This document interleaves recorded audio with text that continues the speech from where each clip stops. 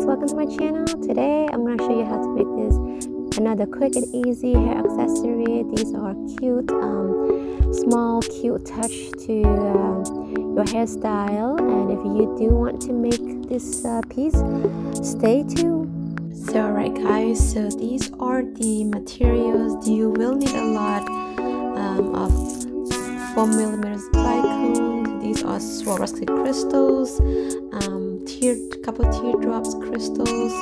These are sew on crystals uh, small ones. And then this one main ceramic flowers um, I got a, a, bag. They're a little bit pricey and they're so gorgeous. Um, these are smaller ceramic as well. And these are actually harder to find. And I am running out pretty soon and I could not order some more but I did found some um, polymers. They are pretty decent um, but not as nice as that ceramics in my opinion. And then a hairpin in silver um, wire. This is a 0.4 millimeters in silver. Something to cut the wire.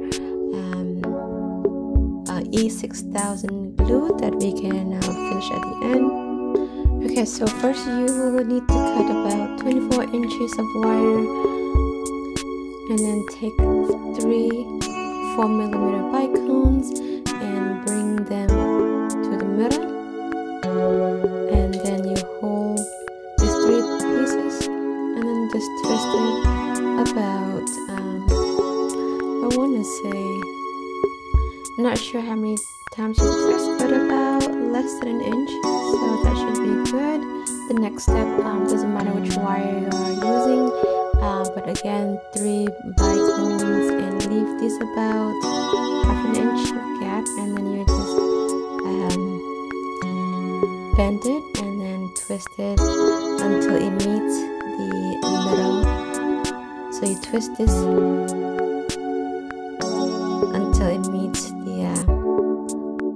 the two wire meet each other and then you grab those two together and just twist it about five times. And then so again same thing. Teardrop crystal and you just hold it tight before you twist it. And again just twist it until it meets the um, all the wire meets each other and then just twist it probably three times. And next I'm grabbing opposite wire this one here. Gonna take my smaller ceramic flowers and bring it down all the way to the end. And then I take my sew on crystals and just insert from one hole to the opposite hole. And again bring it all the way down. And then here I I want to carefully insert the wire back to that flowers and slowly pull it. And as you pull it kind of use the other hand and then support it um, because you want to make sure it stays all the way goes all the way to the end. Okay once it gets to the end you just again give a twist a little bit of this and then again grab two wire and then twist these together. Um,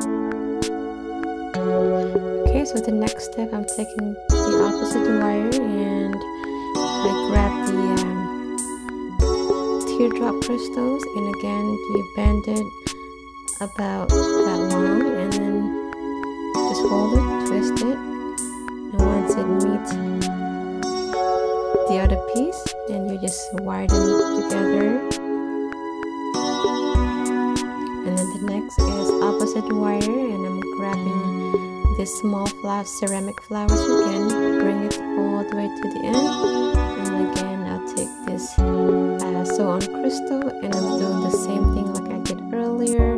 I'm gonna bring all the way down before I insert the wire back to that hole um, because once the wire bended it's kind of hard to adjust. So just slowly guide that um, piece to the middle to to the bottom. Again once it's ready just give it a little bit twist and grab two wires together and then twist them together. Don't worry about the position of the flowers. Um, you can later gently reposition them alright so we are almost done and the last piece is just uh, take this uh, biggest flowers and for this I doesn't matter which wire but I would grab the longer wire. Bring the flowers all the way to the bottom. Take uh, three bicone crystals. Bring them all the way down. And again gently pull all the way down insert that wire back to the same hole and gently pull it. Once you get to the bottom twist it a little bit and then take these two wire and twist just twist about one or two. Honestly because that previous um, I used bicones in the middle but if I had to do it again I would use the bigger sew on crystal. It's definitely crystal. So if you want to again you can add whatever colored crystal you like.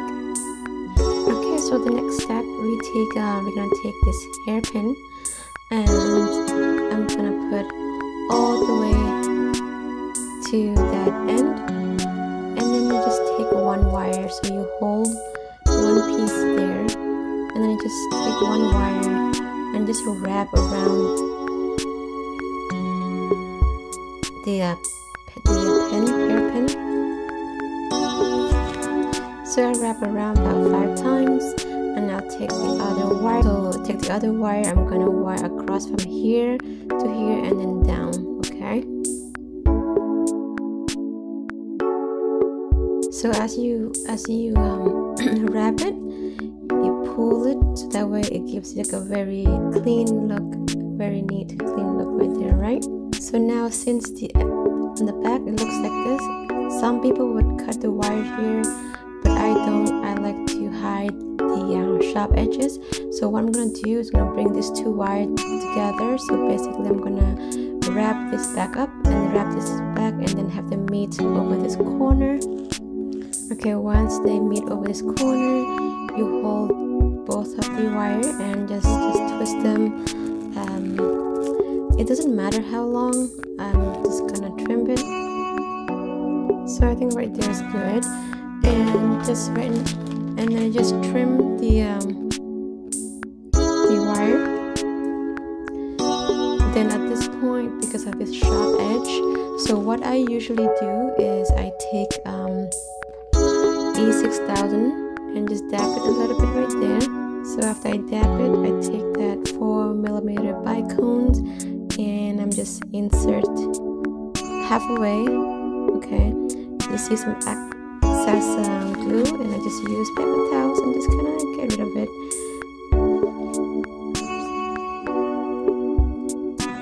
So you do need um, so you do need for the glue to sit at least 24 hours uh, for it to you know before you use it. And once it dry you can gently reposition your um, flowers to the way you want. It so these are the two mirrors um, hairpins and um, let me show you on let me show you this outside see how they look. Okay, so these are the finished pieces and I think they came out pretty nice um, it's not too big it's not too small but if you think that this is not enough for you you can always make like another piece of this and put in the middle. Um, again like these wires are pretty flexible. You can bend whichever you like or you can use like a little small bobby pins and just kind of you know pin this down. And of course you can wear whichever way you like. And um, I think it came out pretty nicely. Um, if you do make one I would love to see yours. And if you like this video, feel free to share with your friends you have any questions you can certainly ask me anytime. Once again thank you for watching. Until I'll see you next video